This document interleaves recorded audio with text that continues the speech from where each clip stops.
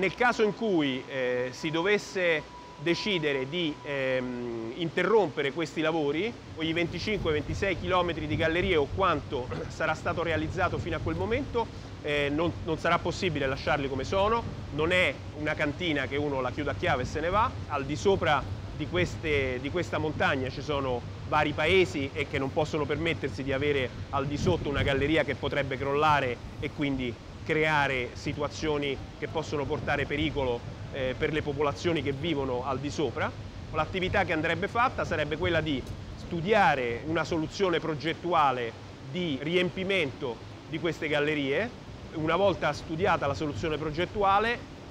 per individuare le società di ingegneria che dovrebbero fare questo lavoro sarebbero necessarie delle gare d'appalto, dopodiché andrebbero fatti dei processi autorizzativi sia in Italia che in Francia per prendere il materiale, capire da dove prendere il materiale, il tipo di lavorazioni, approvare i cantieri che servirebbero per eh, il riempimento di queste gallerie. Dopodiché si dovrebbero bandire le gare d'appalto dei lavori di richiusura di queste gallerie. Diciamo che il tempo per fare progetti, processi autorizzativi e gare d'appalto